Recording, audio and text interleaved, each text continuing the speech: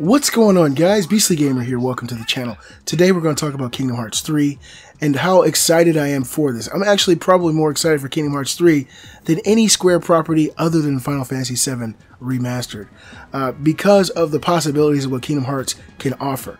Of course, the Kingdom Hearts worlds are filled with Square characters, Square games, uh, as far as the Final Fantasy worlds go, but it's also filled with pivotal Disney characters and Disney worlds, and that's always been a huge draw for me as a gamer. I love the Disney worlds. I love I love the Final Fantasy worlds.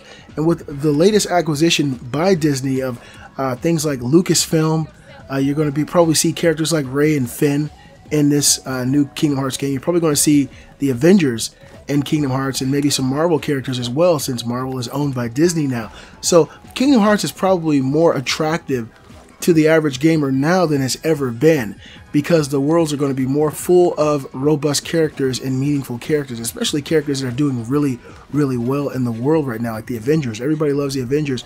Imagine seeing those characters in Kingdom Hearts in a Kingdom Hearts game. It's going to be truly incredible. We're probably going to even see the Jungle Book, uh, the new Jungle Book film, somehow translated into the new Kingdom Hearts game. And the way that they do these Kingdom Hearts games is whatever world you go to, that's really reflected in the way that the game's visual aesthetic looks. So the new Jungle Book would probably look very real and make Sora look like a real character in that world.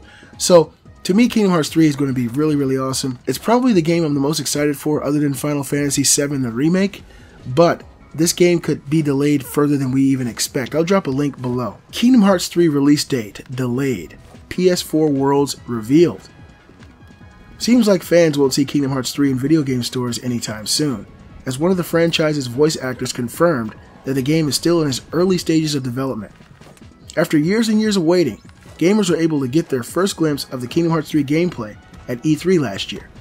But after that confirmation, as well as a few spoilers, nothing much has been revealed. Square Enix has kept mum about the title, especially about its release date. While many hope that the Kingdom Hearts 3 release date will be set for this year, much like Final Fantasy XV, a new update suggests that D-Day won't happen anytime soon. Quinton Flynn, a voice actor for some of the most popular superheroes and video game characters, has confirmed that he has not worked on Kingdom Hearts 3 for PlayStation 4 and Xbox One yet.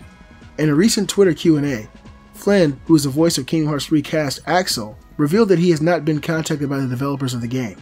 At one point, Flynn addressed the developers of the game installment to step it up, seemingly hinting that production of the game is still very premature.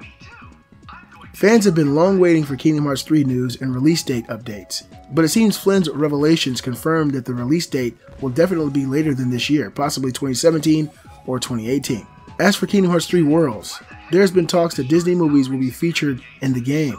However, according to Movie Pilot, fans are also hoping for some other non-Disney worlds and characters in the game. Suggestions include Shrek, The Lord of the Rings, which is one of the other favorites, and Harry Potter. Square Enix has not confirmed anything yet, so stay tuned for more inf information and updates on Kingdom Hearts 3. They're saying that it's in very, very premature development stages. I don't know if I believe that because we've actually seen a vertical slice of the game that was over a year ago. Uh, I think that the game is probably in its early stages for sure.